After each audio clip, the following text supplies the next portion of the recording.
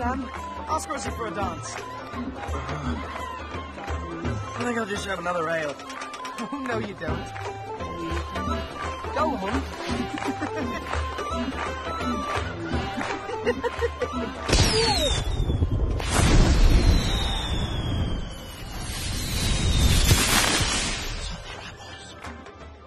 mercy three monstrous trolls. And they were all arguing amongst themselves about how they were going to cook us. Whether it be turned on a spit, and whether they should sit on us one by one. Squash us, chilling.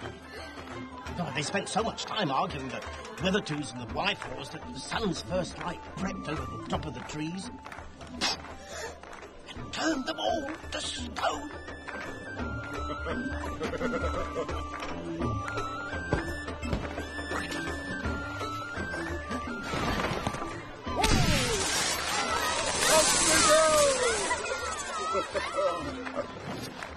Oh no, the big one, big one.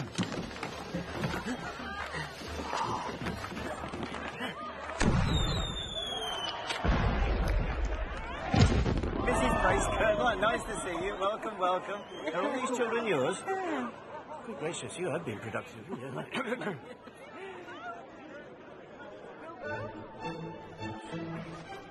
Psycho Bagginses! Quickly hide!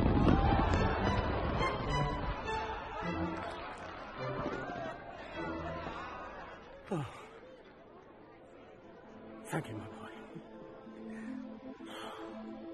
You're a good lad, Frodo.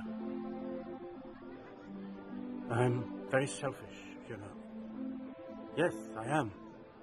Very selfish. I don't know why I took you in after your mother and father died, but it wasn't out of charity. I think it was because of all my numerous relations. You were the one Baggins that showed real spirit. Bilbo, have you been at the Gaffer's home brew? No? Well, yes, but th- th- th- that's not the point. The point is, Frodo. You'll be all right.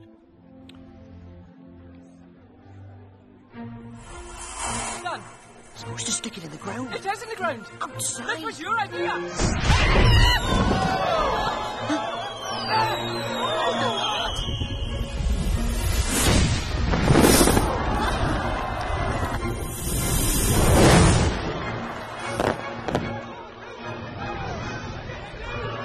Bilbo, watch out for the dragon. Dragon? Nonsense. There's been a dragon in these parts for a thousand years.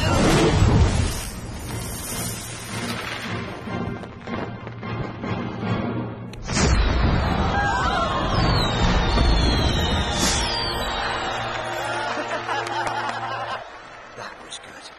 Let's get another one. Meriadoc Brandybuck and Peregrin Took. I might have known.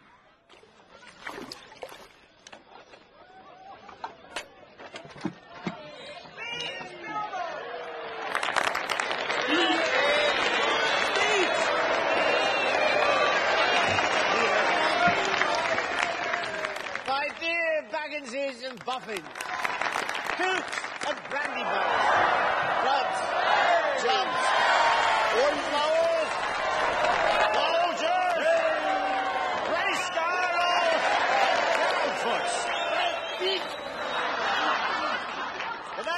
Today is my 111th birthday. Alas, 71 years is far too short a time to live among such excellent and admirable hobbits.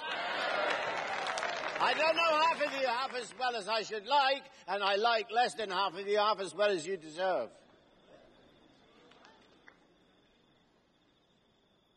I, uh.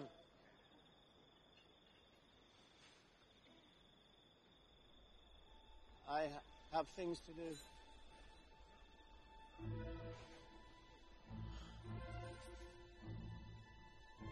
I've put this off for far too long. I regret to announce this is the end. I'm going now. I bid you all a very fond farewell.